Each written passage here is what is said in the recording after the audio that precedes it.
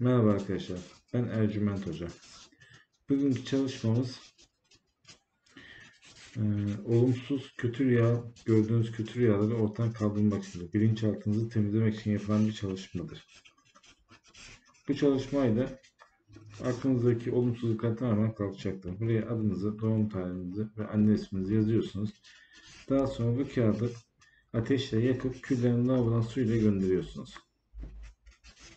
Farklı daha ayrıntılı bir çalışma yapmak isterseniz de bana WhatsApp'tan ulaşabilirsiniz. Allah'a emanet olun. Merhaba arkadaşlar. Ben Ercüment Hoca. Bugünkü yapacağımız işlem eğer çok fazla zayıfsanız ve kilo almak için uğraşıyorsanız bunun için bir işlem yapıyoruz.